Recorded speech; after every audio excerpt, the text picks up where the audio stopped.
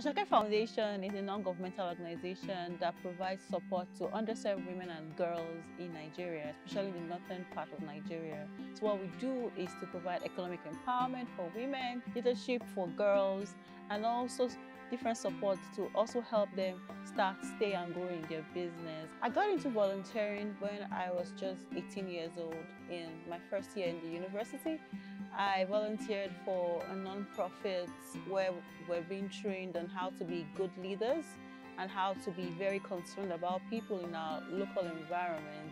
Being a volunteer has been an effective way for me to grow my skills, grow my expertise, and become even better in my work in Ashake Foundation.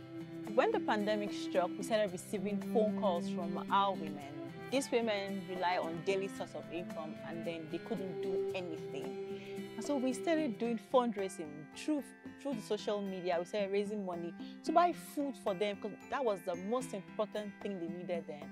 But they, we also decided that beyond giving them this food, can we also teach them how to make some of the materials that would ensure their safety. We taught them how to make nose masks, we taught them how to make hand sanitizers, and we also taught them the value of helping other people. And so while they learned all these things, we showed them how to share to other people. So these things that were made were shared we visited over 16 communities in Abuja alone, sharing food to different people, orphans, teachers, children, widows, the elderly people, underserved women, and, and every other person we could find help and support to. And then it changed my own perspective about life. I had to learn how to not hug anybody, not um, not meet people, kids. I have two girls and they had to stop going to school.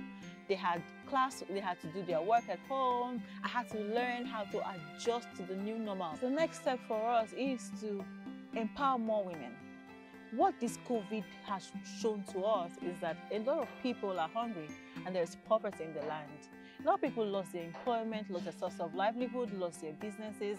And so we have more focus to provide more economic empowerment for women provide more leadership programs for their children, and also find every way that we can support them to bounce back after this pandemic, provide emotional support for them because beyond beyond everything that everybody has lost, we have lost our will of joy. And so one of the ways that can help us is to be able to feed their feed our families and also provide for our children. And that's what we are doing for the women in underserved communities around the COVID-19 pandemic is real. A lot of people have lost their lives, their families, women have lost their jobs, their source of income.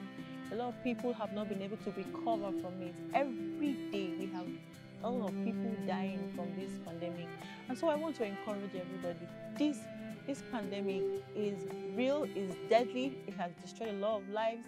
Use your nose masks, stay safe, keep your distance, and also ensure that you, you keep a very good and hygienic environment. This COVID-19 is, is destructive, but we can stay safe by being responsive to ourselves and to the people around us. Stay safe, everybody.